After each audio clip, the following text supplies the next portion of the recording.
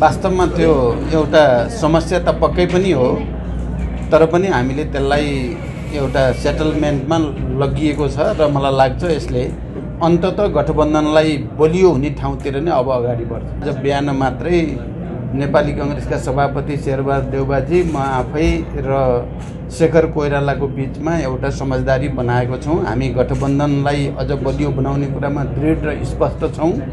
र कुनै पनि हालतमा गठबन्धनलाई कमजोर हुन दिइने छैन भन्ने चाहिँ एउटा सहमति भएको छ। र अब चाहिँ अहिले जो कार्कीजी त्यहाँ मुख्यमन्त्री हुनुभएको छ त्यो हामी सबैको पनि मुख्यमन्त्री हुनुभयो। त्यस कारण त्यो समस्या जसरी सोचिया थियो र मिडियामा जसरी चर्चा परिचर्चा भएको थियो अब ल्यान्डिङ हुँदाखेरि त्यसलाई सेफ ल्यान्डिङ गरिएको छ। यसले त चिसो पस्यो होला नि होइन र? अब चिसो तातो त भइरहेको छ राजनीतिमा यो ठुलो कुरो होइन पनि।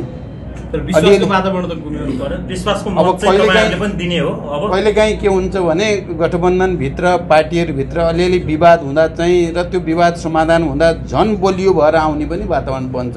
हामीलाई के विश्वास छ भने आज बिहान भएको सहमतिले गठबन्धनलाई अझ बलियो बनाउन मद्दत गर्छ। केही बिग्रिन नदिन चाहिँ प्रयास त धेरै गरियो तर यी प्रयासहरू पर्याप्त छैनन्। त्यसकारण यसलाई मैले अस्ति भने एउटा मेजर अपरेसन जरुरी छ। नेपालको अर्थतन्त्रलाई लयमा ल्याउनको निम्ति। तपाईँले भने जस्तो निर्माण व्यवसायीको त हामीले रकम दिने नै निर्णय गरि नै सकेका छौँ। कारण तर त्यसले मात्रै पनि समस्याको समाधान हुने होइन।